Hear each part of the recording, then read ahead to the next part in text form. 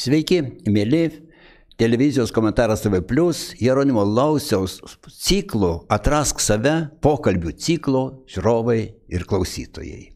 Šiandien mūsų jau penkiolikta tema. Eilinė penkiolikta tema. Nors kiekviena, man kiekviena tema yra neeilinė, o ši, šį kartą net šita tema mūsų yra net šventa. Todėl, kad kalbėsimės mes pagal, e, pagal klausytojo, mūsų klausytojos pasiūlytą temą.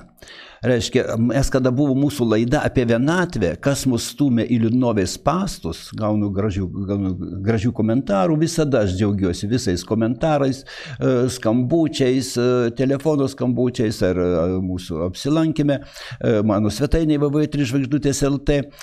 Va, Ir jį man parašė po šitos laidos, parašė Aldona Janutienė tokį komentarą ir jūs jį galite pažiūrėti toj laidoj, jis ir dabar ir iki šiol yra. Ačiū, vienatvė. Malda labai daug duoda žmogui. Palieskit tą temą. Vat labai gražų žodį, palieskit tą temą, ar ne? Tema, ta, ta maldos tema yra neišnagrinėjama, niekada yra amžina tema, tas amžinas ieškojimas paliesti, prisiglausi prie to temos. Labai ačiū, mėla Aldona. Ir tarp kitko, aš esu žadėjęs ir komentarą, tai, karštam komentarė laikraštį mes rašėm, kas pasiūlot temas, parašykit savo ar telefoną, ar savo adresą. Mes už kiekvieną pasiūlytą temą, net už gražų klausimą, esam pasiruošę padovanoti autorinę su autografu mano knygą. Taip kad, mėla Aldona, jeigu jūs parašysit, aš mes jums siūsim, jeigu Vilnietė, tai jūs galite ateiti į mūsų leidyklą 3 žvaigždutės, mes Vilniuje esam, VV3 žvaigždutės LT yra ir adresas, ir visi kontaktai, visiems tai yra tinka. Tai va taip, kad laukiam ir tarp kitko, to pačiu, uh, užsiprenumeruokit, visi galite užsiprenumeruoti mūsų šitą komentaras TV plus uh, televiziją, mūsų tos įrašus, kad jūs galėtumėt gauti pirmieji, ar ne? Pirmieji, kad iš karto sužinot, mes keičiam mūsų temą temas e, mes kas savaitę naują atnaujinam. Aišku, yra ir kitų temų įdomių, bet mano, mano kaip Jeronimo Lausiaus, yra atrask save ir jau, kaip minėjau, 16, 15 tema šiandien. Va. Malda. Mes kalbėsime apie maldą, apie maldą kaip mūsų gyvenimo dalį ne, ne apie liturginius kažkokius aspektus ar, ar kažkokius, e, kuriuos nagrinėja kiti, sakykime, jau, jau ten kunigas ar klebonas ar ką. Mes nagrinėsim kaip iš kiekvieno žmogaus gyvenimo dalį. Malda man ir dabar, va aš kalbu su jumis ir man taip pat kaip malda. Kaip malda aš noriu, prašau, kad mane išgirstų, kad mane suprastų, kad mano tos metodus kažkokius energetinius arba šitos pasinaudotų, kad pasidėkotų savo, kad jis kažkokį pakeistų savo gyvenimą. Tai irgi tas noras labai artimas maldai. Ir mūsų gyvenimas, um, ir gyvenimą galima net palyginti kaip ištisinė malda kaip ištisinė malda. Su malda tu esi stipresnis, tu, tu suformuluoji savo norus, tu pagalvoji, ką nori. Ne, vat kartais mes tiesiog nepagalvojam. Bet man labai noriu pradėti nuo to. E, labai dažnai, kad aš vedu e, energetinius kursus ir individualius kursus ir, ir labai dažnai e, bendrauju su žmonėmis ir, ir visada jūsų laukiu, jau, jau į mano kursus jau registruojasi rugsėjo mėnesį, tai prašau irgi su malonumu, su, galite ateiti ir užsiregistruoti mm, internetu ir telefonas ir taip toliau. Ot kodėl dažnai mane klausia, ot aš melžiuosi, aš nuoširdžiai melžiuosi, ot kodėl man nepadeda, ot neįvyktų, ko aš prašiau negavau. Ir vat vienas, vienas, man atrodo, labai, labai gali paaiškinti vat tą metodą maldos sėkimo rezultato. Tai vat įsivaizduokit dabar, mėlyjeji mano, kad aš metu jums obolį. Aš turiu obolį, aš turiu turėti, Dievas viską turi, ne, ir mes prašom, jūs manęs paprašėt obolio. Aš tą obolį jų metu. Važiuok, man reikia tik vieną judesėlį padaryti, tik ir aš metu, virs, man daugiau nieko nereikia. Bet kad sugaut obolį, kiek darbų jūs turit padaryti, kad sugaut tą mano duotą obolį. Jūs turit stebėti mano akis, Jūs turite stebėti mano ranką, kada aš, kada aš paleisiu į startą, to obolio trajektoriją ir rankas tuo pačiu metu sinchroniškai, kad pagauti. Pažiūrėkit, kaip man lengva duoti, jeigu aš turiu. Bet kaip daug darbų reikia įdėti, kad pagauti, kad priimti. o paskui dar net ir pagavus tą obolį, kurį panaudoti. Ar jį pasidėti, kada aš būsiu išalkęs, ar su juo kažko pasidalinti, ar iš jo padaryti kompoto, ar pasilikti žiemai. O va čia ir yra maldos įvaizdis, ne? Nepasakyti, nepasakyti savo norus. Jeigu aš dabar obolių paprašiau ir tavo rankos kišeniai, tu niekada tas obolys gali į kaktą tau dar tik tai, dar tau smūgi gali būti vietoj, vietoj, vietoj dovanos to oboliu, ar ne? Vat, vat čia, vat, jeigu su, sugavot mano mintį, tai daug galit, daug galit pakeisti, vat kaip malda, kad taptų, taptų prasminga. Kalbėti, pasakius to prašymą, tu turi laukti, kaip tu obolio, tu turi laukti to įsivyto. Tas laukimas jau generuoja tavo mintis, jau tave nukreipia į tikslą laukimas. Taip. Va. E, malda be dieviškumo e, pajūtimo tik žodžiai, be to pasirengimo prieimimui tik paprasti žodžiai. Vat viena mano lankytoja yra pasakius, sako, nu aš negaliu, man sunku, aš meldžiuosi, bet man niekaip nesigauna, kaip aš pagalvoju, kad septyni milijardai žmonijos tuo pačiu metu kreipiasi į Šventą Mariją, kaip ir aš, ne, ir eiliai, kur aš tarp septynių milijardų, iš kur išgirstos mano žodžius suprimityvinamės. Ne, Marija yra čia, yra dabar, ne, jį girdi ir Dievas girdi, ne, išsakyk, jausk tą visą. Bet tu jautiesi, jeigu jautiesi, tu negali būti kaip namuose, jeigu tu e, vienas, tu gali eiti ir, ir su šlepetėm, ir, ir, ir kaip, kaip apsirengęs, bet jeigu yra kažkoks žmogus, tu jau turi būti pasipuošęs. Tu turi būti susišukavęs, tu turi būti apsirengęs gražiai. Va tą jautimą, tą savo sielos ap aprangą, ją reikia nuolat saugoti. O tada tau ir tu jūsi tą šventiškumą, kaip ir, kaip ir tai. Individuali, man tai yra individualus pokalbis, tai yra dviejų pokalbis - tavo ir į ką tu kreipiesi. Va. Yra labai gražus, gražus per Marijos radiją, aš tą girdėjau ir ne kartą, tarp kitko. O Ars Klebono tą, tą pasakojimą, tarp kitko, tą Ars Klebono irgi buvo laida. Jis pasirodo, ar dvigubai, ar dar ilgiau mokėsi kunigų seminarijoje. Jis buvo labai negabus. Jis gavo mažytę bažnytėlę ten, ne, tam Arso miestelį, Prancūzijoje. Bet kaip jis išgarsėjo? Išgarsėjo nepaprastu savo paprastumu. Žmogui reikia paprastumo. To žvilgsnio švento, to prisilietimo, to palinkėjimo akis pačios, bet kad tu palinkėtum akim, tu turi būti viduj tas šventas. Tu turi, turi lauktas ateina žmogus į, į tą bažnytėlę Ir tau turi tuo didžiulį džiaugsmą, kad jis eina, kad jis toj pravers duris, kaip aš kiekvienu lankytoju džiaugiuosi. Aš vis kas kelias valandas pasižiūriu, kiek, kiek lankytojų po mūsų laidos, kiek, kiek komentarų, skambučio kiekvieno laukiu. Ne? Kiekvienu, net ir jeigu jis kažkokias net ir ne į temą, ar ne, vis tiek man tai yra miela. O tai ta ars, ars reiškia tas klebonas, pasakojo atsitikimą, kad reiškia bažnyčiai žmogus sėdi ir nesimeldžia nieko, nedalyvauja mišiuose. Sėdi ir, ir, ir, ir, ir va taip ir mastų. Jis prieina ir klausia, tai kaip tu meldėsi, ką tu darai čia bažnyčioj? Sako, aš žiūriu į jį, o jis žiūri į mane. Aš tą senai girdėjau, aš neužmirštu ir man mėla ir dabar pakartot, pasidalinti su jumis. Gal ir jūs daug kas girdėjot, bet gal negirdėjot. Aš žiūriu į Dievą, Dievas žiūri ir mane. Jis net žodžių nesako. Šventas pakilėjimas, aukštas e, tas šventumo pakilėjimas. Ne? Tai vad, kad maldoj nes, vat, kartais per Marijos radiją aš girdžiu, aš kalbu ten ne tiek, tai kartais aš užmirštu, kartais ar tai veikia ar neveikia. Neskaičius veikia, ne aritmetika, ne, ne, ne užbaigimas, ne, net jeigu tu užmiegi meldamas į sane, tai dar gražiau Dievas tik šypsosi. Svarbu jausti tą deviškumą. Taip.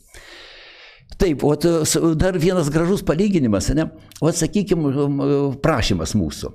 Mes o, palyginkim su laišku. Tu parašiai laišką, įmetei pašto dėžutę ir viskas. Ir tu savo gali ten virtis kavą, pusryčiauti, mėgoti, žiūrėti televizorių ir taip toliau ateis paštininkas, išims tą laišką, nuneš į paštą, ten rušiuos, paskui ten siūs į tą miestą, paskui ten kitas paštininkas neš į tą ir mes į paštą, kiek, kiek, kiek, kiek darbų, o tu savo, tu jau nieko nereikia daryti.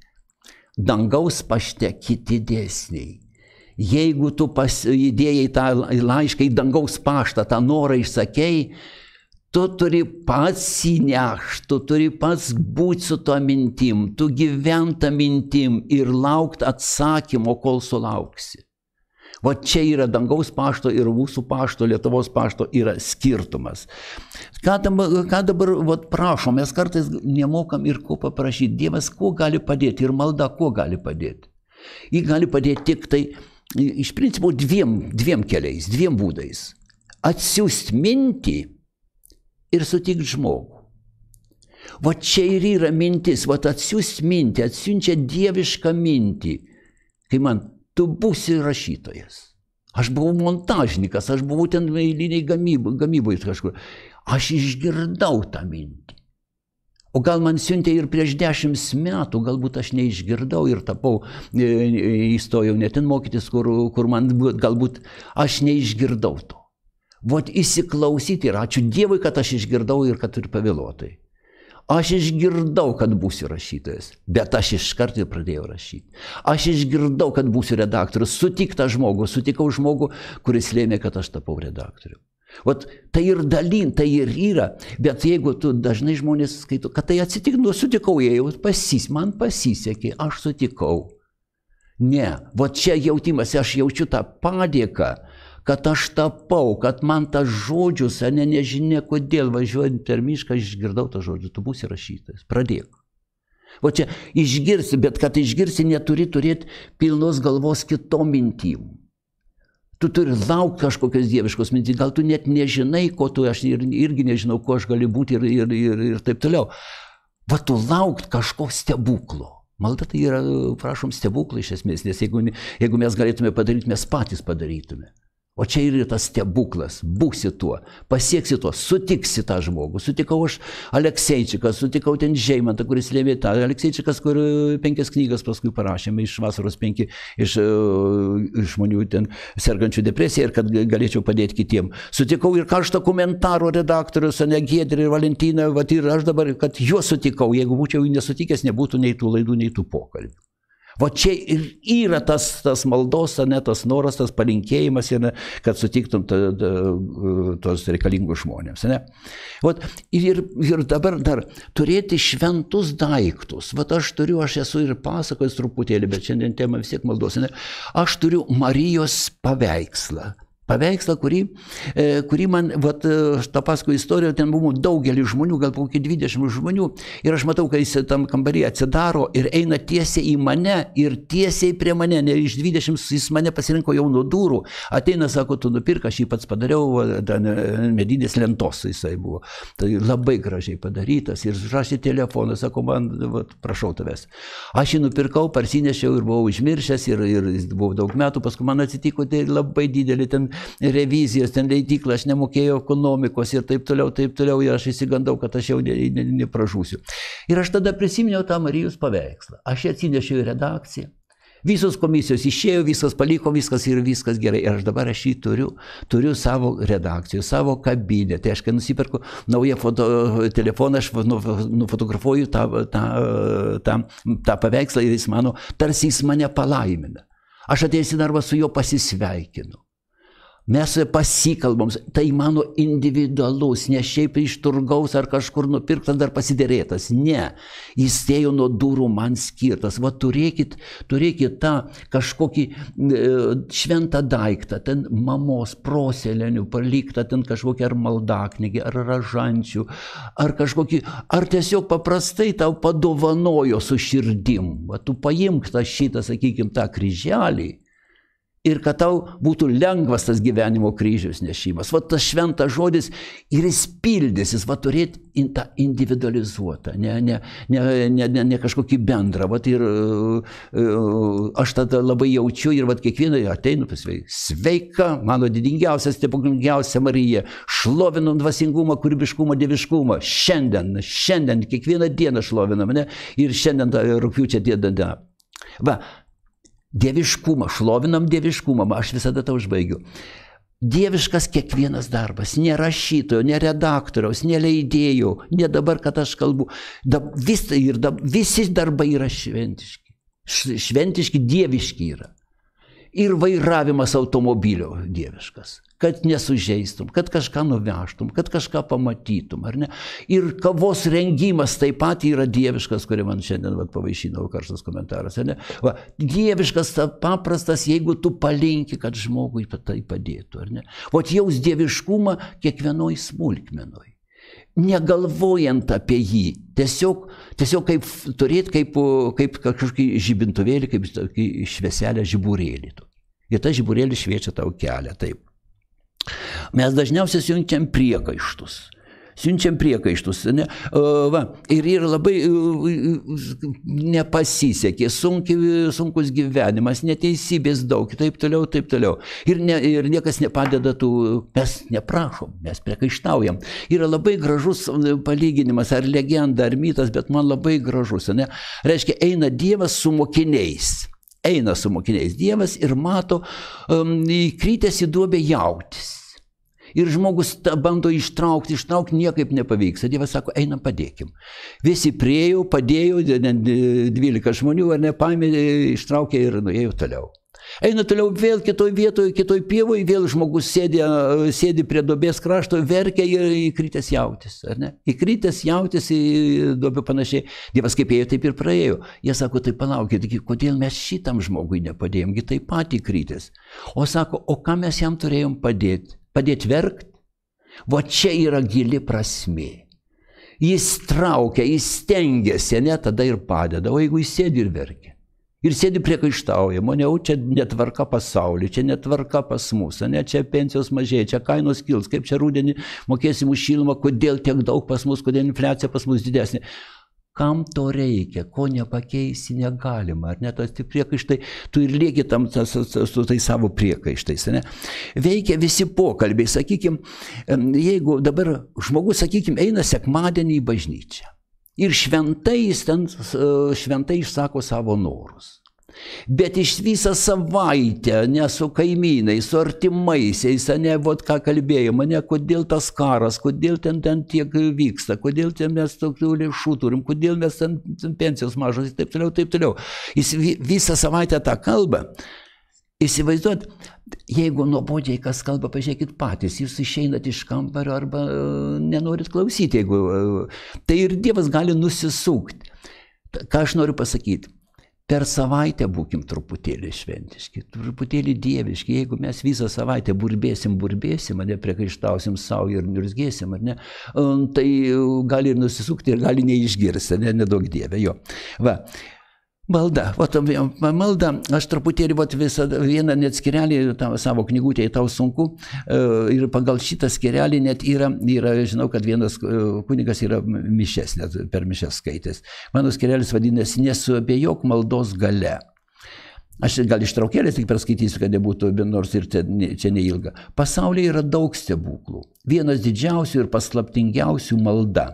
Pirmaisiais žodžiais, jeigu tik jais tiki, Jei jie eina iš širdies gilumos, tu atrakini paslaptingus vartus ir patenki ten, kur nepriklaupusiems prie maldo šaltinių ir neatsigėrusios jos stebuklingos versmės įeiti draudžiama. Tu eini į sielos pasaulį. O čia ir yra, jeigu tu tiki, jeigu tu šventai ištari. Va. Taip, malda tai susimastymas, tai įkvėpimas, Malda nenuolankumas, nenusižeminimas ir neišmalda. Malda tai pakilimas, dieviškumo pajautimas. Ir mūsų temoje mes esame užrašę, klaupkis teismas eina. Čia būtent klaupkis teismas eina. Tai teismas, kuris išteisina kuris tave išlaisvina iš nuodėmės ir išlaisvina iš tų sunkių minčių. Va čia tas gerasis teismas, ar ne? Atsiklaupk ir pakilk, ne, pakilk padidėjęs. Ne. Malda stebuklas žmogų paverčiantis žmogumi. O taip, malda šviesos spindulys, o pasaulis margas, ne, o pamatyta šviesos spindulį pajausta. Malda kaip kompasas, kaip navigacija, ar ne? Kaip navigacija parodo tikslą, parodo, par, atlaisvina tave nuo smulkmenų, susimastymas, ten viskas ir veikla, ir atradimai ir taip toliau. Valda įkvėpimas virš būties smulkmenų. Vata ieškoti, ieškoti toj maldoj to e, taip. Va, tai užbaigiu taip. Tik nelik tamsiame abejonių prieangiai, nesabėjok maldos gale. Atiduok jai visą širdį, pasimk visas jos dovanas. Vat, e, čia yra daugiau, aš ištraukėlį perskaičiau. Vat, pajausta maldos tą, e, tą didingumą. E, aš esu vienoje laidoje matyt kalbėjęs, bet čia mūsų tema būtent tas, tas negaliu nepaliesti. Ne? O aš esu rašęs, aš pažvelgiau į dangų ir supratau kurėjo mintį. O pažvelgiau į dangų, nakt, nakties žvaigždėtą dangų. Ką aš supratau? Reiškia, kada Dievas kūrė žemę, jis galėjo sukurti mūsų tą žemelę, tą pilką, kuri paskui ten nu, ir viršui saulutė pakabino, ar ne? Ir ta saulutė šildė, šildė, pasidarė ir žalumynai, gamta, gamta ir, ir turim tą žemę, kuri dabar Betgi mums reikalinga tik tai žemė ir tas žibintuvėlis saulė. Galėjo būti tik tiek, ne? Tuščias juodas dangus, ne? Tiek pat mes gyventume, tiek pat turėtume, e, vyktų visi cheminiai procesai, saulės turim. Ne. Prižarstės žvaigždynų, kometų, planetų, galaktikų su kokiu azartu kūrė mum, kad būtų jauku. Nereikalingos tos visos žemėje, ar ne? O kiek prikurta, ne? Su kokiu azartu kūrė. Ir aš tada savo sakau, Jeronimai, ir tu su tokiu azartu rašyk. Skleis savo idėjas, ne, ieškok, na, ne, dabar nors ir mokyklos nebeskaito, nebes, nebenori tų knygų, ne, yra visai kitos temos, ne, vis tiek ieškok taip pat būk užsidegęs. O čia ir yra, vat, paži... aš tik pažvelgiau į dangų, vat, matyt paprastume, gam, gamta tarp kitko yra, yra dvi Biblijos. Yra ta dieviškoji Biblija ir yra gamtos gyvenimo Biblija. Vat mokėti skaityti ir antrąją Bibliją taip pat, vat, pažvelgti į dangų ir pas, e, pamatyti, ką, e, ką aš turiu, ką aš galiu. E, dar labai, aš esu davęs klausimą, vat, vienoje knygoje su Alekseičiaku, kur leidom. Davęs klausimą, kuo tikėjimas gali padėti sergančiam depresiją, ar ne? Jis yra gydytojas, tai vasaros penki. Kuo jis padeda, tikėjimas padeda jum pačiam. Ir vat jau aš keletą minčių iš, iš to e, jo atsakymų. Jei trumpai atsakymas būtų toks, kaip jau 2000 metų žinoma, reikia būti krikščionimis. Teoriškai būti krikščionimi nesunku, bet būti tikrais tikinčiais, taip tikinčiais, kad visa širdimi, visa siela priimtų tikėjimo vertybės, kurios taptų tarsi švituriai visoje, visoje gyvenimo kelionėje, yra ne visiems pasiekiama. Dėl to yra daug paklydusių savo jausmuose ir sielose. Va. Aš dažnai paklausiu savo paciento, ar yra tikintis. Dažnai atsako taip, bet kai paprašau išvardinti iš eilės dešimt Dievo įsakymų, e, retas žino. Vat jis, jis tą daro ir, ir, ir man yra tą pasakęs jo. Va. Va. Kaip sako, sakoma, fronte netikinčių nebūna, ar ne? Vat, kada blogai, vat, būtent tikėti ne tada, kada, kada, mm, kada tau bloga, o visą laiką tą jausą. Ne? Jei parapijoje yra geras kunigas, sakoma, jog nereikia ieškoti popiežiaus. Vat kaip kalbėjom, ieškoti paprastume jo. Taip, Tikintis žmogus, tikintis į Dievą žmogus supranta, ką jam duoda tikėjimas, už ką jis turi dėkoti Dievui. Aš pats pirmiausia turiu būti dėkingas už tai, kad man davė tokį nuostabų tėvą. Jis buvo pirmasis mano mokytas, norėjo, kad ir aš, kaip ir aš, kad būčiau chirurgas. Tačiau visai neprieštaravo, kad aš pasirinkau psichiatriją. Aš dėkingas ir savo mamai, kad jį užpildė savo dėkingumu, kuris praturtino mane ir tai persidavė mano sūnui. O jis, matot, paprastais dalykais dėkoja Dievui. Ir kad, sako, mane ten norėjo kelius kartus ir nuimti iš, iš tos skyriaus vedėjo. Ir, sako, mane Dievas saugojo, jis mane Dievas paskyrė. Kaip ir aš tikiu, kad aš leidyklos ir žvaigždutės redaktoriumi išliksiu. Jau 30 metų išlikau ir kada labai, labai, labai sunku, visada aš, visada aš prieinu prie Marijos paveikslą, sakau, bet mėla Marija, nu, mane, man padėjai tapti redaktoriumi, tai ta ką dabar bankrutuosim. Ir viskas kažkas įvyks. Tarp kitko, vakar buvo labai, labai tikrai toks mano gražus mistiškas, mistiškas e, toks įvykis ir tikrai man labai mėla.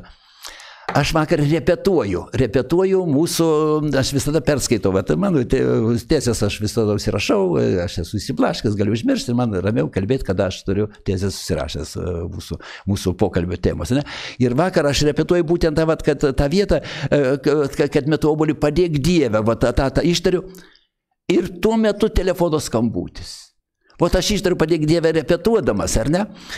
Ir telefonų skambutis gavau labai gražų sakymą. Labai gražų vieną knygą, išleisti vieną tokią energetikų knygą, kurią aš iki naujų metų jau nebankrutuosiu. Vien, vat, kad, ta, kad tas buvo skambutis. Va tas su mano tojais žodžiais, ne?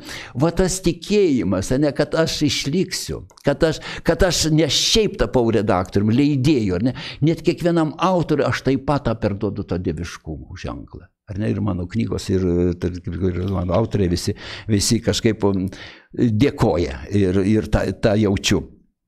Va. Labai kartais būna va, va tas vėl atvirkštinis dabar reiškia.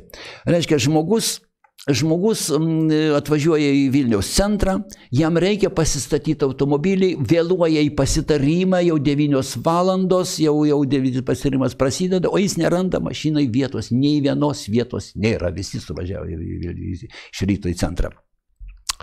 Ir jis sako, Dieve, nu padėk, nu padėk man surasti vieną vietą, aš tau būsiu dėkingas ir taip toliau, taip toliau. Ir žiūriu, tuo metu vienas kažkas išvažiuoja iš tos, iš tos eilės, išvažiuoja. Jis sako, alio, alio, Dieve, nebereikia, nebereikia tavo pagalbos. Va. Suprantat? Tai čia Dievas ir padėjo, kad išvažiuotų. Vat jis nebejaučia, mes nemokam padėko. Įvyko, įvyko, e, pakvietė į balių, pakvietė mane į balių, ne, vat nepakvietė ne į teismą, tave pakvietė į balių, ne, nu ir pakvietė. O kas jam davė tą norą, kas davė tą signalą, kas tą skambutį davė, kad, kad tave pakviestų į tą šventę. Ne? O čia reikia, tas jautimas dėkingumo, tas dėkingumo jautimas, e, tai yra energija. Tu jauti dėkingumą, tu stiprini save. Ir viena, dar viena graži istorija, aš esu, tu vienintelis turi toje knygoje, esu parašęs, aš sen, senokai girdėjau, bet man labai patiko. Čia iš Suvalkyjos, reiškia, Suvalkyjoje paskyrė į, į bažnytėlę kleboną. Ir atsikėlė naujas žmogus ir jis mato, e, nu, kiti kaimynai nesitvarko. A jis pasipuošė, jis atvažiavo iš Vilnius, nusipirko namus, ne, niekas ne, prie, prie, nei darželio, nei ten to, nei gėlių neturi. Jis ką padarė? Nupirko sėklų gėlių, įvairiausių sėklų pripirko ir nunešė klebonui tam naujam. Nunešė klebonui, jis per mišes išdalino žmonėm. Šventas daiktas, žmonės gavo iš klebono pašventintas sėklas pašventinta sėklų, taip ir vadin pašventintų sėklų, ne, skirelis tas mano novelė.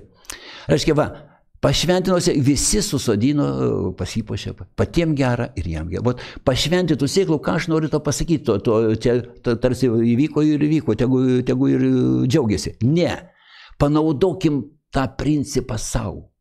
Pašventinkim kiekvieną darbą kiekvieną prasme, vat mūsų pokalbį pašventikim, vat perklausykit dar kartą, vat šiandien aš gavau po vieno, vieno seminaro, aš kelius kartus perklausau, jeigu norit e, šiaip paklausyti, visada mėla, vat paklausyt ir gali kažką dirbti, gali kažką kalbėtis, kažką ten kavą gerti, bet jeigu norit pasinaudoti, būtinai reikia antrą ar trečią kartą perklausyti. Vat kad sugaut vieną principą, čia mes kalbėjom, kalbėjom, kalbėjom, o vieną sakinuką iš to, ką mes kalbėjom, gali jis pakeisti gyvenimą. Gali pa, papuoš tavo gyvenimą kaip tu pašventintą sėklą. Tai va.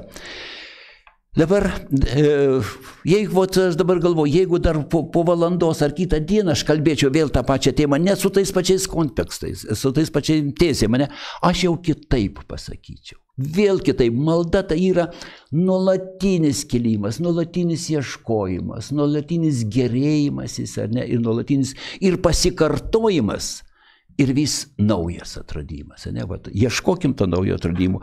Visas gyvenimas gali būti malda ir, kaip minėjau, nenulankumas, o pakilimas.